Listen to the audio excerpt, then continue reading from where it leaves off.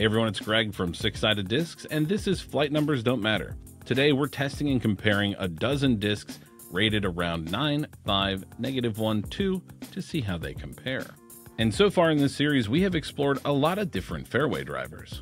The T-Bird 7502 slot, some 6 to 9 speed straight fairway drivers like the FD or Crave, and the ever popular Firebird and Thunderbird slots.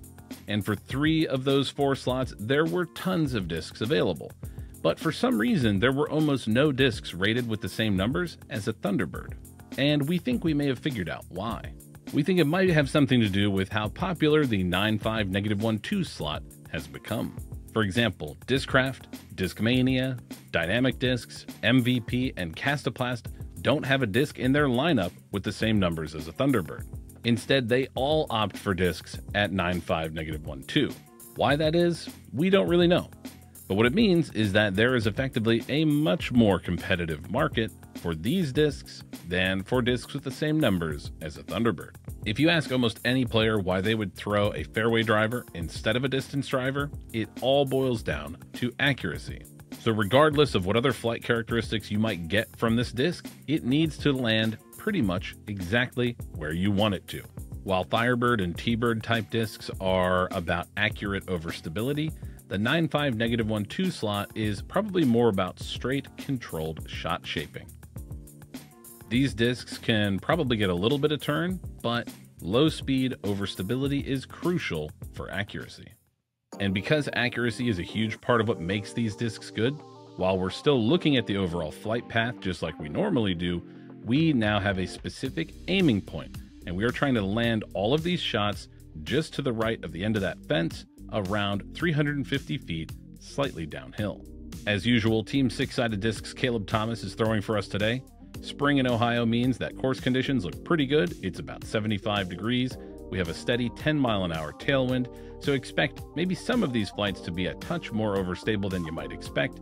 Though to adjust for that, Caleb is going to be throwing them a little bit harder than normal.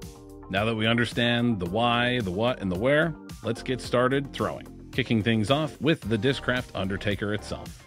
Approved by the PDGA in 2016, it's rated at 9.5 negative 1.2, and the Undertaker is arguably one of the most popular and well-known discs with these flight numbers. In Z Plastic, our Undertaker is just what you need from this slot. Overstable, but not so much that it sacrifices distance. Instead, just the amount we need for accurate placement. The perfect mix of control and distance. So that's a good baseline to get us started. Let's move on to a perhaps less well-known disc, the Lone Star Wrangler. Also rated at 9.5 negative 1.2, it was only approved by the PDGA in November of 2023. But it has a completely different shape and feel to the Undertaker. So, will it fly any different? Well, not really. Caleb releases it a little bit later than the Undertaker, but the Wrangler is, as Lone Star says, overstable without being too aggressive. Now, I've mentioned this in other videos, but I'm compelled to mention it again. One of the things that I enjoy about testing and comparing discs is this kind of result. Two discs that are designed to do the same thing, but designed in completely different ways, can achieve basically the same result, giving you, the player, the option to choose the one that feels right for you. Speaking of different feels but similar results, let's see if the same disc in two different plastics can achieve the same thing. It's the Infinite Discs Dynasty. We have the Infinite Discs Dynasty in two plastics, iBlend, which is an inexpensive sort of mid-grade premium plastic, and C-Blend Glow, which is Infinite's version of Innova's Champion Glow Plastic. Also rated at 9.5 negative 1.2, Infinite Discs leans into the control aspect of this slot, describing the Dynasty as the epitome of control and versatility. Let's see if they're right. On the left, the iBlend Dynasty flips up to flat and holds there for a while before we get that slight fade. While on the right, the C-Blend Glow Dynasty looks a lot more like that first Z Undertaker, comfortably holding the line it's on, resisting flipping up, and not fading too much either a nice, controllable flight. So the Dynasty is a solid entry into this category. If you have a slower arm and you still want that reliable accuracy, iBlend is a great option at around 14 to $15. If you need a beefier version, 20 to 22 bucks for a nice glow one will get you done. Now, so far, every disc we've tested have the exact same flight numbers, 95, negative 1, 2, that we're sort of looking at for this category. But there were a lot of discs that were just on the fringe of having the exact same numbers, and we want to see how similar they are. For example, the ThoughtSpace Construct. Rated at 10.6, negative 1.2, the Construct is ThoughtSpace Athletics' versatile fairway driver. Let's see how it compares to these other discs we've seen so far. Well, one of these things is not like the others. Now, ThoughtSpace's description of the construct does say that it's straight from start to finish, so maybe it's just not as torque resistant as some of these other discs. Or maybe their interpretation of these flight numbers is different, but we would not put it in as a good replacement for an Undertaker. And I'm not sure if it was just the construct that we chose to test is 174 grams or a neutron plastic. Uh, but I'm curious for those of you that throw the construct, how does yours fly? Are they usually this understable? Leave a comment down below. Anyways, let's move on to another disc with almost the same flight numbers the Clash Discs Cinnamon. Rated at 9.5, negative 1.5, 2, Clash Discs released the Cinnamon in 2023 and call it a straight to understable fairway driver. Now, the flight numbers are only off by 0.5 more turn than what we've tested so far, so, does that really make that much of a difference off the tee? Maybe.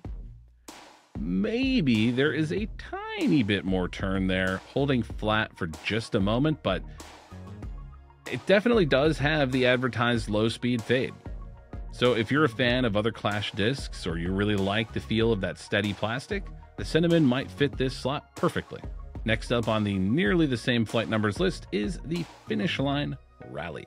Rated at 8, 5, negative 1, 2, Finish Line says that while it is a straight flyer, it is also torque resistant and can handle a lot of power.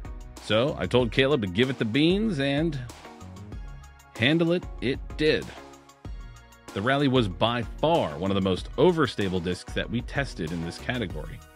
So if you're the biggest, beefiest Drew Gibson type thrower, the Rally is going to be the disc you want for this slot. And last on the almost the same flight numbers list, we have the Latitude 64 Saint Pro. Now, you might be asking yourself, Greg, why don't you just test the Latitude 64 Saint, which has the same negative 1 2 turn and fade? And that's a valid question. And I have a really simple answer. We didn't have one, and we couldn't find one in time. So if you're dying to see how that Saint compares to some of the other discs in this category and maybe other suggestions for us to test, let us know that you want to see a part 2 in the comments below. Anyways, the Saint Pro is rated at 8, 5, negative 0.5, 2, and is supposed to be a little bit more overstable and have less glide than the normal Saint. So can that match the accuracy and stability we're looking for? Well, everything's looking pretty good until off that. That fence post got in the way. The Saint Pro, thrown hard and flat, held that slight fade for a nice, accurate shot. And that is exactly what we're looking for, fence post or not. And that leaves us with five more discs, all five having exactly the same flight numbers. We begin with the Discmania CD1. Now, this is the new reinvented CD1 approved by the PDGA in 2022, and Discmania calls it a control driver rather than a fairway driver, which is actually true of more than a few of the discs that we've tested today. And we've tested a bunch of Discmania's discs in their new C-line plastic, and we've often found them to be outrageously overstable, at least compared to their other plastic blends. So the biggest question here is whether the CD1 is actually usable amount of overstability or if it's just a meat hook. Let's find out. And it is perfect. I'm delighted to see it just hold that gentle hyzer, still getting out to around 340 feet and crucially landing exactly where we want it. So it's well done from the CD1. Let's move on to a disc that you're probably not very familiar with, the Yikun discs B? B? By? B? B? Uh, according to Google Translate, it is B. So that's what we're going to go with. Also, of course, rated at 9.5, negative 1.2. This is one of Yikun's somewhat newer discs, approved in 2021. And it's also much domier than any of the other discs we've tested so far. This is also in their opaque premium plastic Dragon. Now, off the tee, Caleb puts the B on a generous hyzer angle, but as you can see, it doesn't stay there long because this is one of the first discs that actually turns over and holds some of that turn before it fades back, which is not necessarily a bad thing. This makes the Yikun B probably one of the more beginner-friendly discs in this category or with these flight numbers, and it's also one of the more inexpensive discs. Yikun base plastic usually runs around 8 or $9 retail and is going to be even more understable than this, but the Dragon plastic and Phoenix plastics are still usually only around $15, $16, $17, which is a great price for premium plastic. Next, let's take a look at another disc that perfectly fits these flight numbers, one that we actually tested in a recent video, the Dynamic Discs Escape. In our Trilogy plastic comparison, we had three different escapes to look at, Lucid, Lucid Glimmer, and Supreme. So if you want to learn more about the plastic specifically, click the link above and check out that video itself. But for today, we're just going to focus on the flight. Rated at 9.5 negative 1.2, the Escape has been one of Dynamic's most popular fairway drivers, which made it a strong candidate for their new Supreme line. However, as many of you commenters pointed out on that video, the Supreme Escape is actually a totally different mold.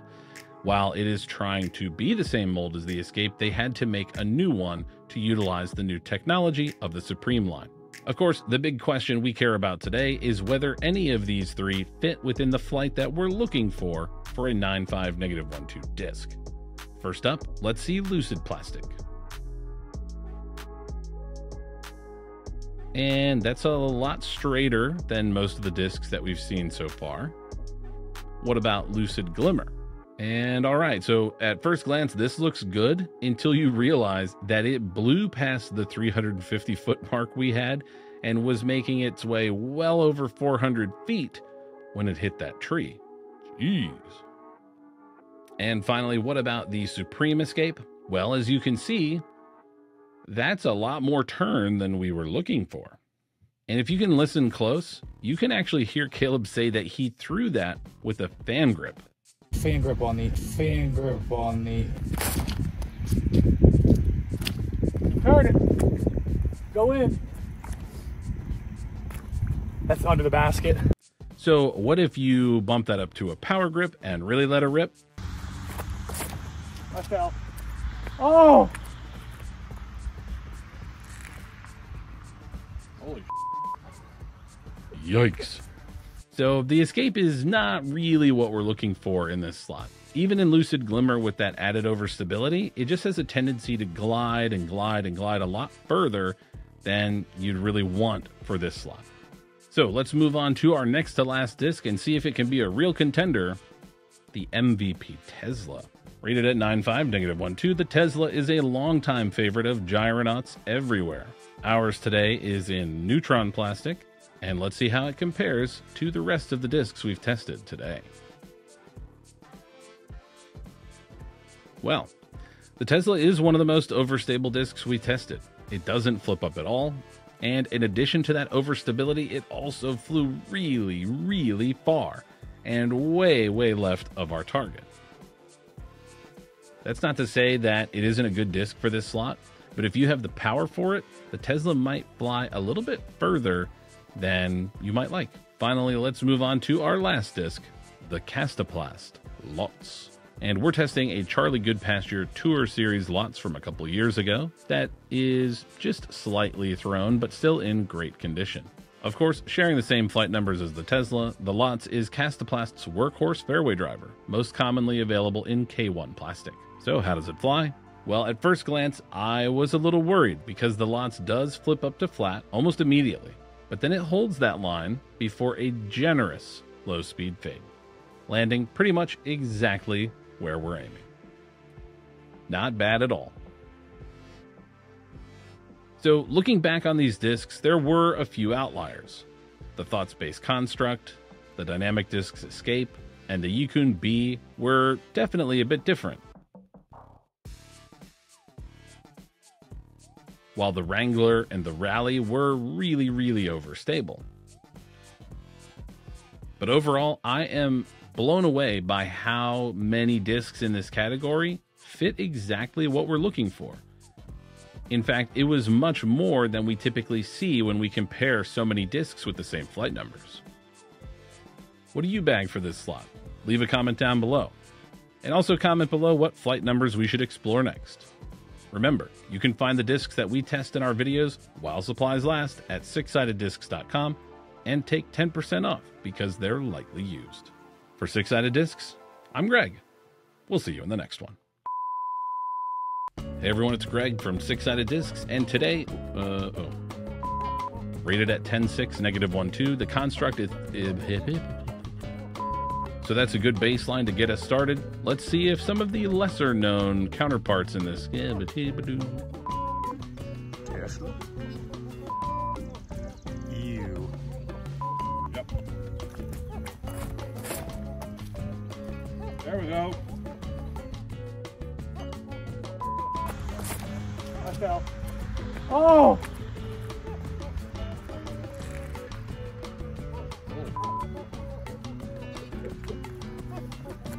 That's on me. Slip on that one. All Don't need a bleep on that one, Greg.